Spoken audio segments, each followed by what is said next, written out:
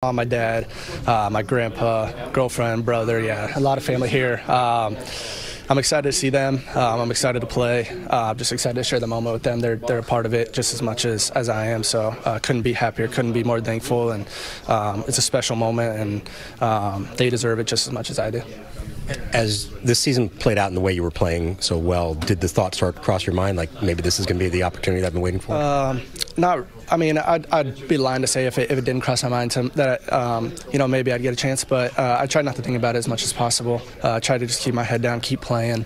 Um, I had a great group of guys uh, in, in, Harrisburg and in Rochester that, that helped me a lot. Just be comfortable. Obviously, a new organization. Um, I didn't know a ton of people when I got here, but they all um, allowed me to feel welcome and um, and comfortable from the start. And I think that's a reason why I was able to be um, successful fr- uh, from the beginning. Was just the coaching staff in Harrisburg, and then all the way up to, to Rochester and the players just allowed me to be comfortable. Um, and then when I was comfortable, um, I was able to play a little bit easier for sure. What went your decision to sign with the Nationals this offseason when you signed the minor league, the minor league? Yeah. What, what was your decision? Um, you know, I'm sure there there was probably a, a, couple reasons, but I mean the opportunity was great. Um, obviously, it's a great organization, um, great players, great coaches, um, and I just wanted a fresh start, new organization to go and play and um, and learn from new coaches, learn uh, learn from everybody, learn from the players around me, and um, couldn't be happier, obviously, with the decision I made.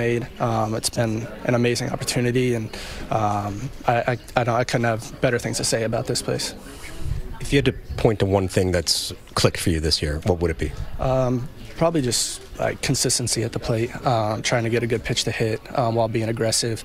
Um, there's times, obviously, where adrenaline will get the most of it, and um, you might chase out of the zone or, or, something. But just trying to get a good pitch to hit, and um, and just trying to you know weather the ups and the downs. Obviously, it's a game of, of ups and downs, and um, just trying to stay the most consistent I can on the field, and not try and drag game to game, but just take each moment as it comes. How do you imagine you'll handle the adrenaline tonight, given it's your uh, first game? Yeah, I don't know. I mean, I've talked to a lot of guys in here. Um, obviously, Lou, a lot of the guys, uh, Jeter Downs, who came up with me, uh, guys who um, just made their made their debuts either this year or, or last year, and just to, what to expect. Everyone's gonna have a different um, experience, but uh, I'm just gonna take everything in uh, the, the, the adrenaline, the the nervousness, the the excitement, and uh, just go out there and try and control it the best I can and, and, and have a good time. I mean, I know that uh, it's gonna be uh, exciting, but once the first pitch is on, it's baseball, and I'm just gonna try and go out and, and, and play the best I can. Does it mean any more that you're right in the lineup?